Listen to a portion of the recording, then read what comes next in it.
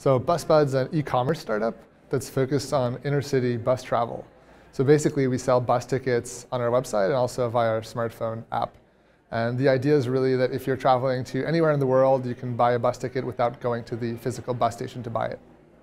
I was actually traveling, so I was in South America, and I had a lot of trouble just buying the, uh, the bus tickets uh, without actually going to the bus station.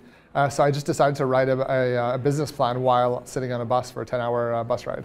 I was really lucky here to, uh, to tap into all the entrepreneurial resources at the Rock Center and the different working, working with the different professors and, and even writing entrepreneurship related cases. So it really prepared me for, uh, for my next venture there was a lot of adrenaline in the room when we actually just pitched back there. It was great. It's, it's so, so great to see all the interest for entrepreneurship uh, right now on campus. We've grown from about five people to 25 people in the last year. So we're busy just expanding the team even more. And uh, our, our main objective is to grow internationally in different markets abroad.